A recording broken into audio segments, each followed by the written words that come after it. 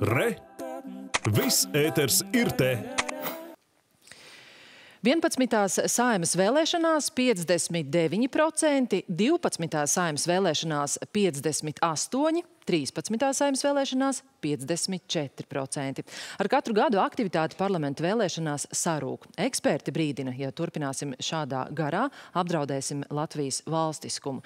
Par to, kā palīdzēt neizlēmīgajiem un kā sapurināt apātiskos, ģirta Zvirbuļu sižetā. Pēdējie SKDS partiju reitingi pirms vēlēšanām uzrādīja, ka populārākā partija ir jaunā vienotība ar aptuveni 13% atbalstu, kam seko Zaļo zemnieku savienība un Nacionālā apvienība. Taču nedaudz ironiski runājot, populārākā partija varētu saukties Nesmu izlēmis par ko balsot, jo šādu atzīmi aptaujā veica nepilni 24% respondentu. Eksperti gan norāda, šoreiz sūdzēties par to, ka nebūtu par ko balsot īsti nav pamata, jo vēlēšanās pārstāvēts teju viss politiskais spektrs.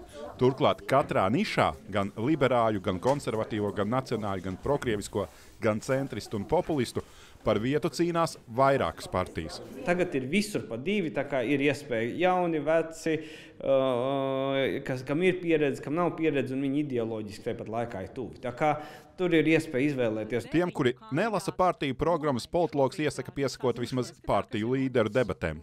Ja arī sakot politiķu debatēm šķiet pārāk apgrūtinoši, tad internetā ir pieejami dažādi rīki, kas ļauj aizpildīt vienkāršus testus un noskaidrot savu politiski ideoloģisko profilu un attiecīgi piemeklēt arī partiju.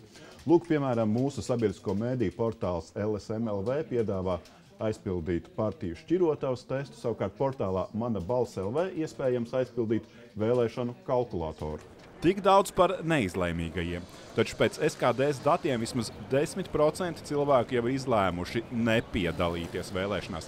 Pētījumā gan nav analizēti iemesli, bet politologs spriež, ka tas nav tālu jāmeklē. Šie cilvēki gluži vienkārši zaudējuši ticību un vīlušies politiķos.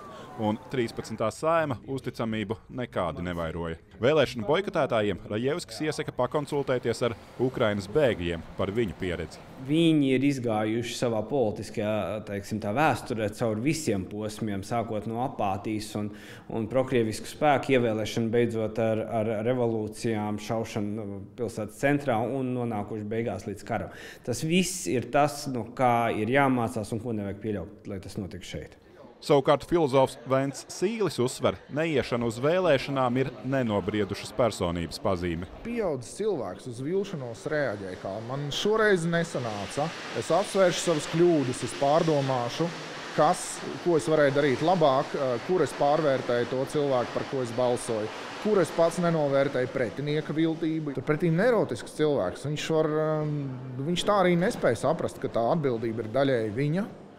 Un tad viņš, nu, kā mazs bērns, reaģēja. Viņš vienkārši atsakās piedalīties. Gan filozofs, gan politologs ir vienisprātis. Atteikšanās no dalības vēlēšanās nozīmē atteikties no atbildības par savu dzīvi, kas ilgtermiņā var novest arī pie atteikšanās no savas valsts.